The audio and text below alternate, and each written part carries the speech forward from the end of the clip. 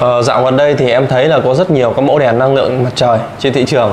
Thì ờ, đó là một cái cơ hội để anh chị có nhiều thêm nhiều có sự lựa chọn. Tuy nhiên thì khi mà nó có quá nhiều các sản phẩm thì một là anh chị khi mà lựa chọn chúng ta sẽ rất là khó. Không biết chọn cái mẫu nào nó phù hợp với gia đình nhà chúng ta hoặc là anh chị có thể sẽ rất dễ mua phải những cái hàng kém chất lượng. Thế thì trong video ngày hôm nay thì em sẽ chia sẻ và giới thiệu cho anh chị một cái mẫu đèn là ốp trần 400W. Đấy, thì qua cái mẫu đèn này thì em cũng muốn một là chia sẻ các cái tính năng công dụng và vị trí lắp đặt của nó. Cái thứ hai là em cũng sẽ phân tích rất là chi tiết vào từng bộ phận để từ đó cho anh chị những cái kinh nghiệm khi mà chúng ta lựa chọn mua đèn năng lượng mặt trời thì chúng ta biết là khi chúng ta chọn đèn tốt thì chúng ta phải chọn vào những cái gì đấy, thì và để cho anh chị hiểu rõ hơn thì ngay sau đây em sẽ bắt đầu video và giải thích chi tiết cho anh chị về cái mẫu đèn này à, xin mời tất cả anh chị cùng bắt đầu.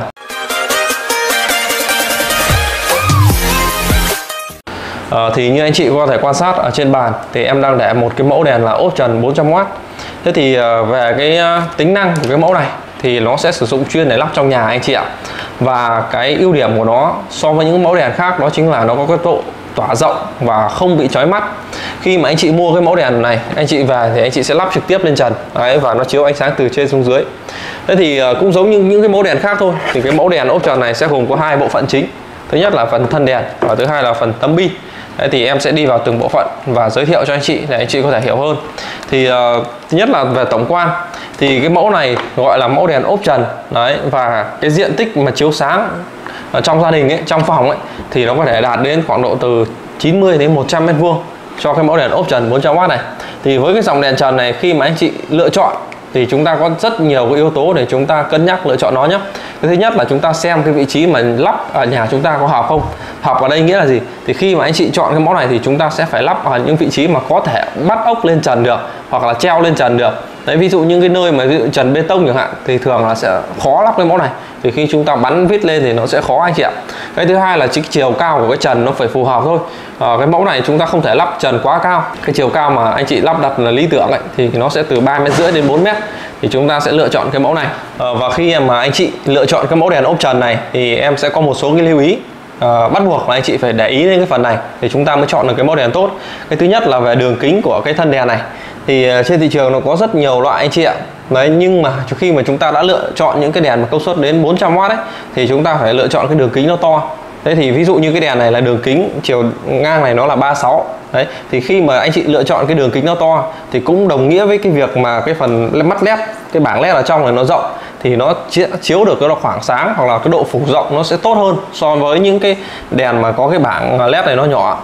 Cái thứ hai là về cái chất liệu của cái chip led hay là gọi là cái loại chip led đấy thì uh, em sẽ mở ra cho anh chị xem trực tiếp thì uh, trên thị trường hiện nay là nó có hai cái dòng chip led chính đối với cái dòng đèn ốp trần này.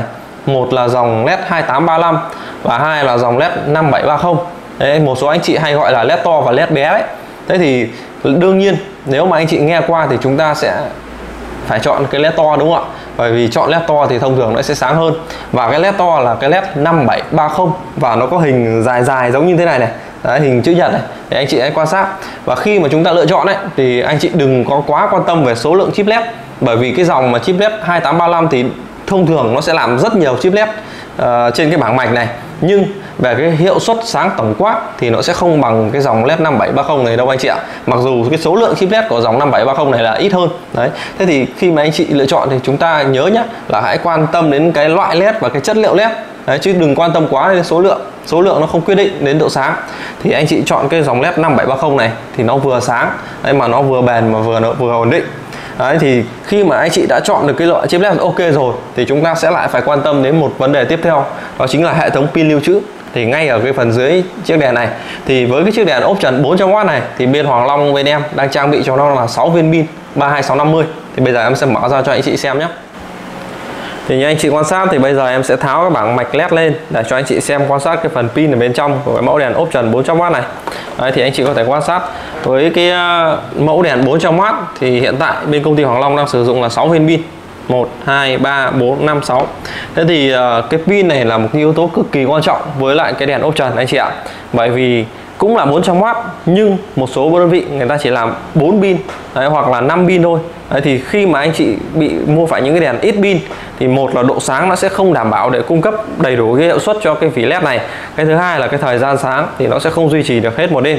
Do vậy khi mà anh chị chọn thì chúng ta lưu ý là chúng ta sẽ phải chọn cái lượng pin.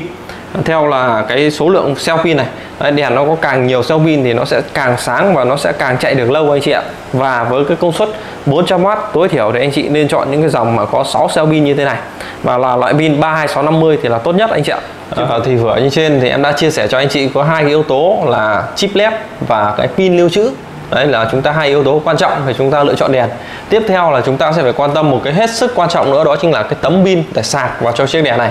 Bởi vì anh chị phải hiểu rằng cái tấm pin này nếu nó có đủ công suất để nó sạc thì chiếc đèn mới có thể sáng được nguyên đêm đấy, mặc dù ví dụ có đèn của chúng ta có thể rất nhiều pin nhưng tấm pin nó yếu chẳng hạn không thể thì nó sẽ không thể nào sạc đủ được. Và cái mẫu đèn ốp trần 400W này thì được bên em trang sự bị một cái tấm pin kích thước rất là lớn, một chiều là 35 và một chiều hẳn lên là 70 cm anh chị ạ.